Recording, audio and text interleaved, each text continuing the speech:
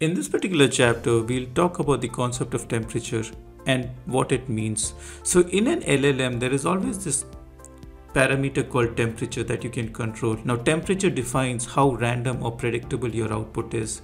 Now if you have a high temperature set for your LLM, then the output text would end up being a little more creative. Whereas if you set it to a lower temperature, then the output that you get would be a little more predictable and consistent, but it wouldn't be as creative as if you set it with a higher temperature.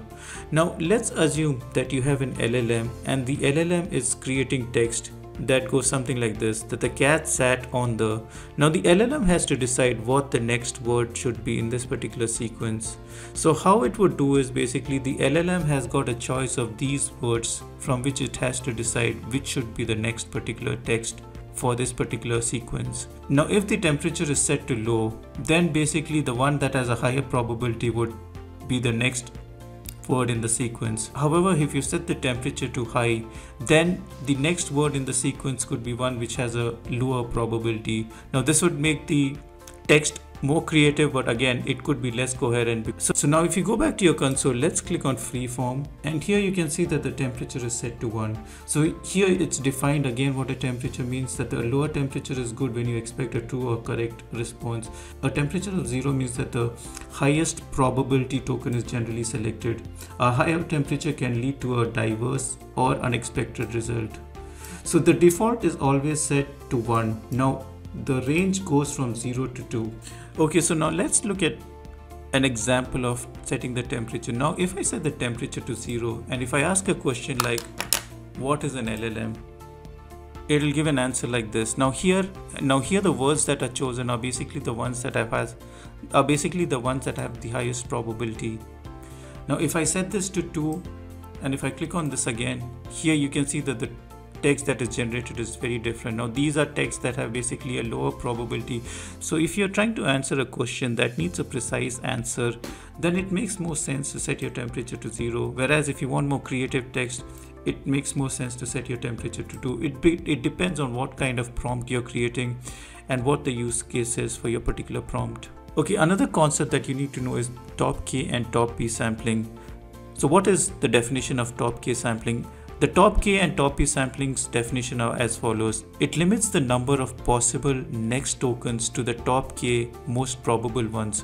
Here the value of k is set by the user itself. Now similarly for top p, it selects the tokens based on the cumulative probability, dynamically choosing the smallest set whose probability adds up to p. So here the value of p is also chosen by the user.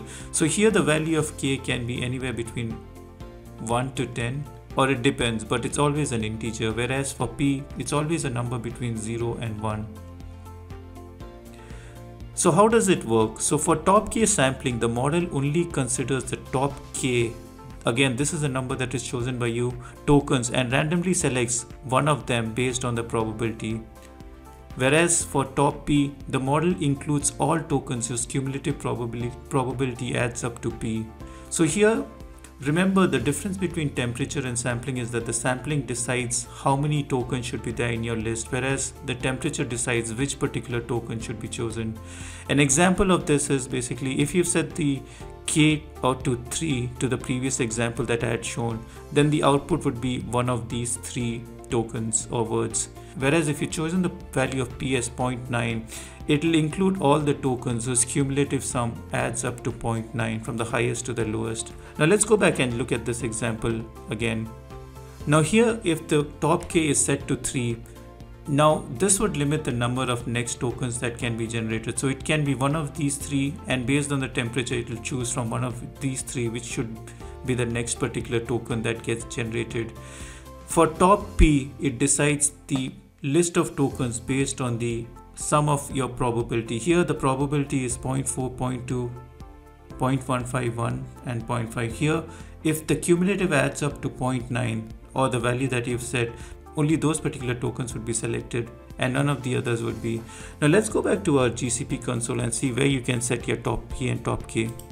So here if you go to the advanced, you can see that this is basically where you can set your top k and top p. Again the top k is set to 40 now for certain new models these values cannot be changed. So i am using currently the gemini 1.5 model. Now we'll discuss what all models are currently available in gcp but for this particular model you cannot set the top k it is by default set to 40 however you can set the top p. So the top p value by default is set to 0.95 now you can decide from 1 to 0 what is the top p that you want so that's it for this one. In the next chapter we'll discuss on what tokens are